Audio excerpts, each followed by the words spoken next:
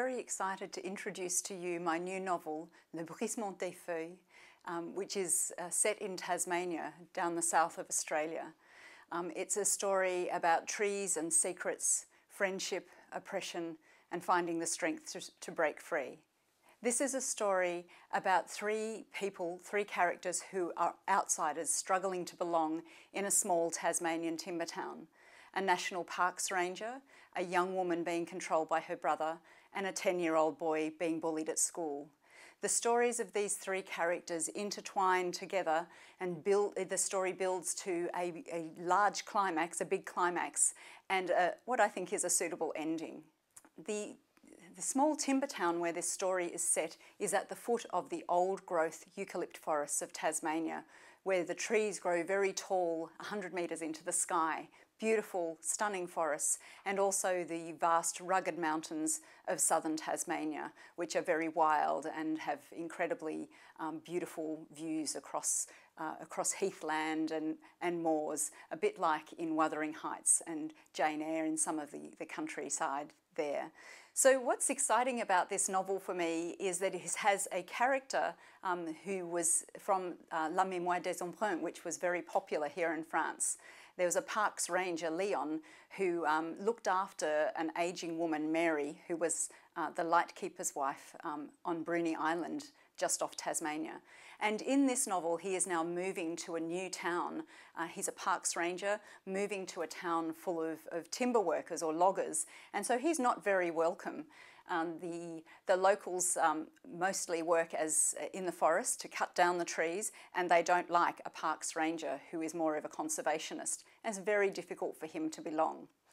The, one of the other main characters, her name is Michaela or Mickey, and she's been brought up homeschooled and isolated on an apple orchard uh, in the Huon Valley, which is near this new town.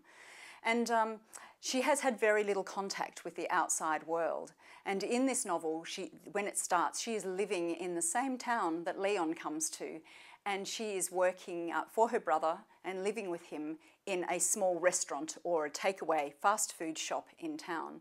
But he controls her life very strictly. She's not allowed to go to school, she's not allowed to talk to people uh, other than to take their orders, and she doesn't have any friends, but she's desperate to connect with the outside world and live her own life and meet new people. So she has quite a, a difficult, uh, a difficult life, but she doesn't know how to break free.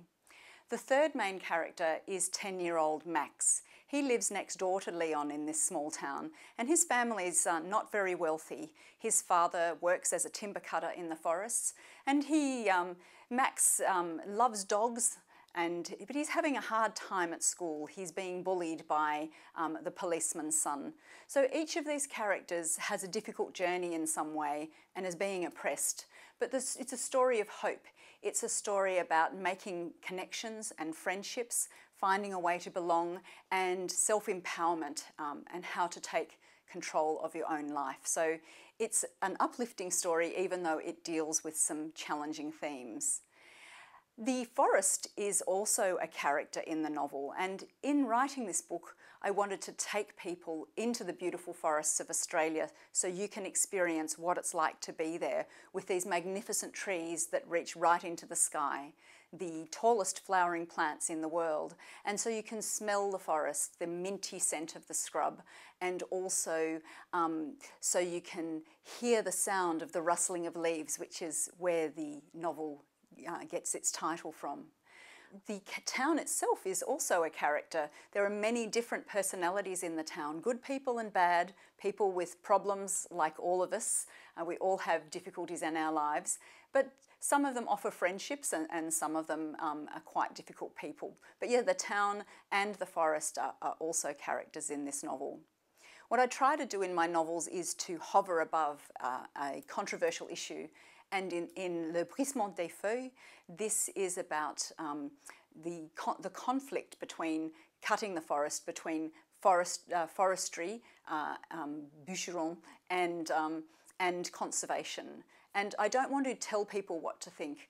I want to give, um, give you a feeling of the difficulties that face the families of, of loggers, the poverty, um, and also the pressures on their families, and hopefully suggest that there might be the possibility of some sort of transition towards tourism to take the pressure off cutting down Australian forests.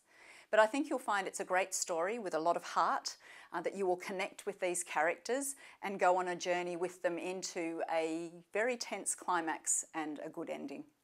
So Mickey is kept a virtual prisoner in, in, the shop by her brother Kurt, who locks the house, locks her in when he, he goes out down to um, the city of Hobart.